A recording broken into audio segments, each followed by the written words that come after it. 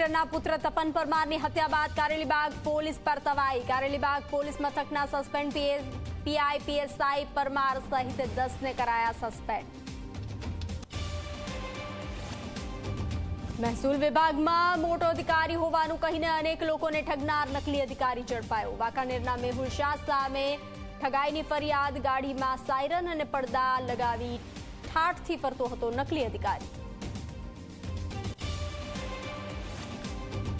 અમરેલી એસઓજીની ટીમે તુવેરની આડમાંથી ગાંજાના લીલા વાવેતરના છોડ ઝડપી પાડ્યા. ધારી નવી વસાહત પાણીના ટાંકા નજીક ખેતરમાં ગાંજાનું વાવેતર ઝડપાયું.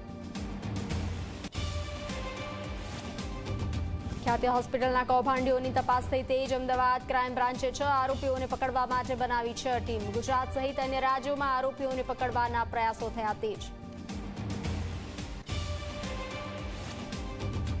આણંદ જિલ્લાની દસ પાલિકાઓ પાસે લાઇટ બિલ અને પાણીનું બિલ ભરવાના પણ નથી પૈસા. અભણ નેતાઓ અને અણઘડ વહીવટના લીધે જનતાને વીજળી પાણી વગર રહેવાનું આવી શકે છે વારો. સાઉદી અરેબિયાના આઈપીએલ મેગા ઓક્શનમાં બે ભારતીય ક્રિકેટર આઈપીએલ ઇતિહાસમાં સૌથી મોંઘા ખેલાડી બન્યા. રિષભ પંતને લખનૌએ સત્યાવીસ કરોડમાં તો શ્રેયસ અય્યરને પોણા સત્યાવીસ કરોડમાં પંજાબની ટીમે ખરીદ્યો.